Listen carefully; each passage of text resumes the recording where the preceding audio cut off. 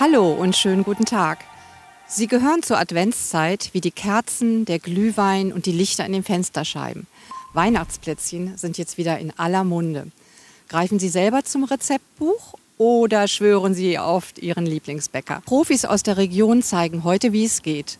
Beim großen Weihnachtsbacken der Handwerkskammer in Wiesbaden lassen Sie hinter die Geheimnisse von Zimtsternen und Co. gucken. Da wollen wir natürlich dabei sein und wir dürfen sogar mitbacken.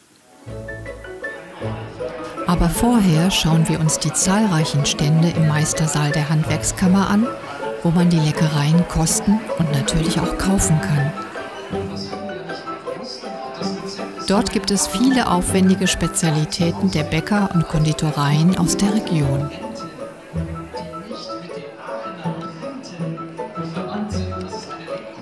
Herr Repp, das ist ja toll besucht hier heute. Ist das das erste Mal? Äh, wir hatten äh, vor drei, vier Jahren schon mal eine gleich ähnliche Veranstaltung. Da ging es nur um Chocolatiers, Pralinenherstellung und die war mit Sicherheit genauso gut angenommen worden.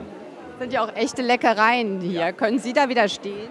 Äh, ja, man sieht es mir an, dass ich eigentlich äh, für alle Genüsse, ob das jetzt die süßen oder auch die herben Sachen sind, immer äh, gut anzusprechen bin. Und das war schon bei mir früher so, wie ich auch noch selber äh, auf Montage mit rumgefahren bin. Da bin ich gerne in eine Bäckerei gegangen, habe mich hinten angestellt und habe mir erst mal den Duft mal auf mich wirken lassen von frischem Brot, den ganzen Teilchen. Und das war für mich immer wieder ein tolles Erlebnis. Jetzt geht es ja heute auch darum, zu zeigen, was so ein bisschen dahinter steht, dass das ein besonderes Handwerk ist, äh, solche Leckereien produzieren zu können.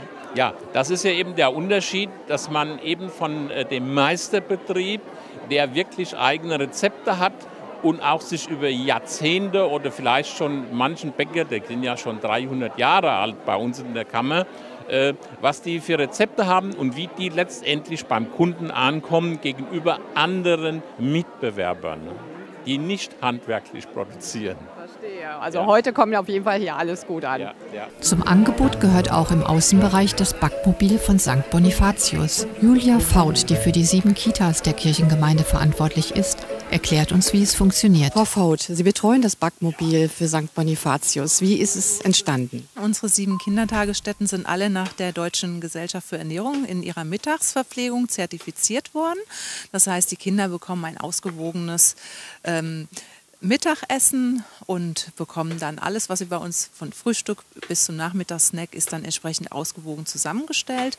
Ähm, und ähm, dazu gehört aber nicht nur das Essen, sondern auch, dass die Kinder Ernährungsbildung mitbekommen bei uns.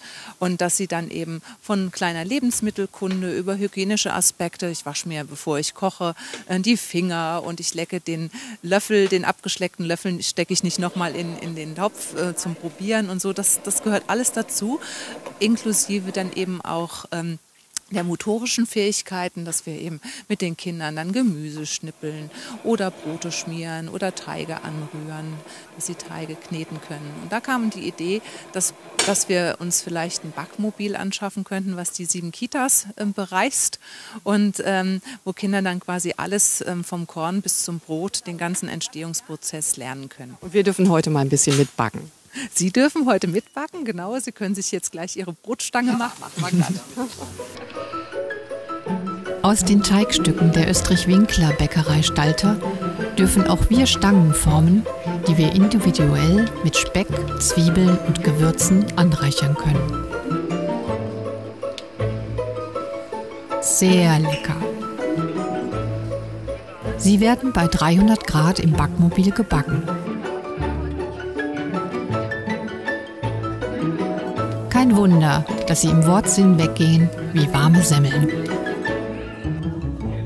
Was für eine leckere Einstimmung in die Adventszeit, oder? Dafür wünsche ich Ihnen ganz, ganz schöne Tage und ob Sie jetzt selber backen oder beim Bäcker um die Ecke oder Ihrem Lieblingskonditor zuschlagen, denken Sie daran, die Diät beginnt erst im Januar. Dann sehen wir uns auf jeden Fall wieder zum nächsten Selbstversuch. Tschüss und auf Wiedersehen, Ihre und eure Birgitta Lampert.